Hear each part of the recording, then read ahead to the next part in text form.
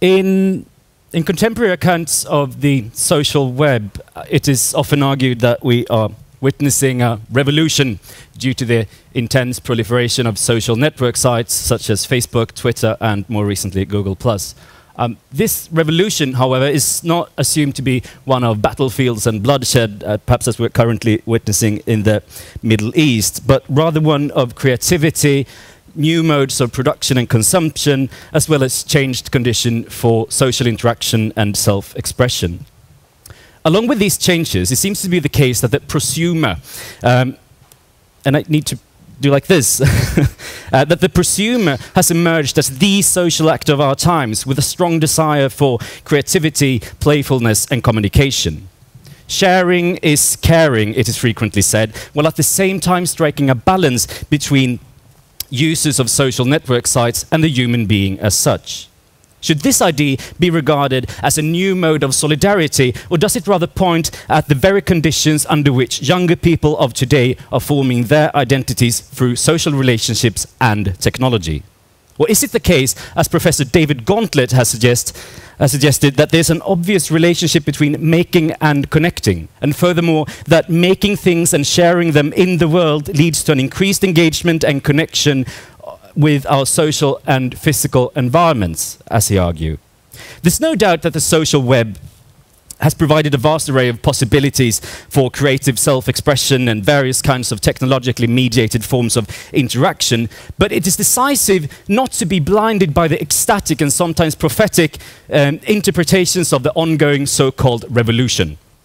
Rather, I find it important to critically assess another set of properties of social network sites and their implications. So that is why I would like to today highlight a number of characteristics of social network sites that are crucial for the creation of future media and that also takes the interrelationship between design, product development and processes of identity formation seriously. But these characteristics are not simply concerned with technology, but rather the social embedding of technology, as well as the social consequences of technology, which both have a deep impact on the continuous processes of identity formation, um, and especially among younger people, for whom media use is often a question of hanging out, messing around, and geeking out, as the title of one recently published research report suggests. Um, but although being highly diverse in its various manifestations, the social web in general and, and, and social network sites in particular mark a fundamental shift in the ways uh, in which online interaction is organized. Having once been formed around communities of interests, social organization is now taking place with the individual as a nexus.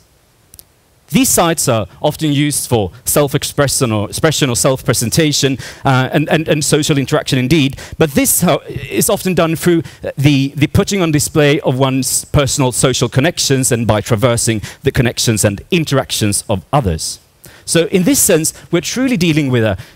utterly yet utterly social yet clearly individualized phenomenon that to some extent promotes narcissistic practices concerning nothing but me, me, me, and me. As several research reports have demonstrated, social network sites are often used to maintain rather than initiate social relationships. In that sense, these sites could well be described as communicative playgrounds on which users have a possibility to engage in various kinds of social interplay. And many critics and researchers alike have, have warned that these possibilities come at a price, since there nowadays are large commercial actors involved in the structuration of everyday life activities of the users. I think it would be silly to ignore such an important facet of this state of affairs, since harvesting personal information and designing mechanisms for communication is part of the business models for companies such as Facebook, Twitter, and Google. And then I think it could be said that, um, as, as, Professor Manuel Castells once argued, that we are dealing with a possibility to interact at a relatively low price. But more importantly, um, even though the, the, price might be low, is that when we talk about social network sites um, and, the, and, the, social web in general, these descriptions tend to lean toward a description um, and an understanding of mainly front-end characteristics, and, and thus ignoring the fundamental importance of back-end functionalities. I think it's crucial to have in mind the, the social implications of these two parts, front end and back end, working together, since the manipulation and calculation of harvested personal information become part of the processes that structure and, so to speak, form the very boundaries that constrain social experience as well as the self as such.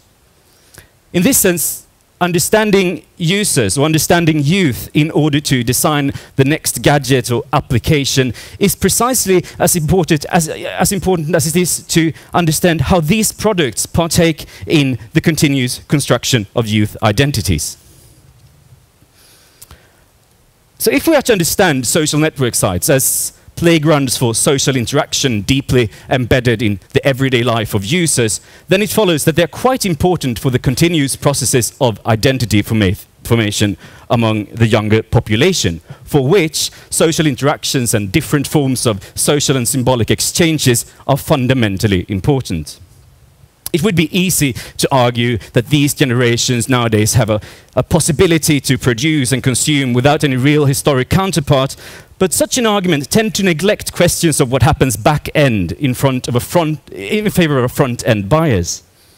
Using Facebook as an example of this line of thought, it is clear that we're dealing with quite an appealing design that strives at providing a personalized social experience for the individual user. The idea is to deliver social and symbolic content in various forms based on different calculations of previous social interactions and actions. What this means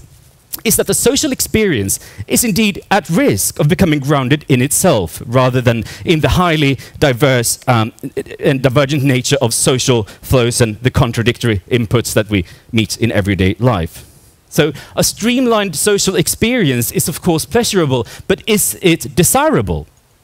Provided that social network sites are an important part of everyday life among younger people, developers and designers alike truly have a responsibility in combining their commercial interests with the potential social consequences of their work not the least if they want to avoid the tyranny of the new and instead strive at establishing long-term relationships based on trust and mutual challenges. Such a venture is not simply a question of conflating generational identity with technological identity, but rather to understand the complex interplay between users and products.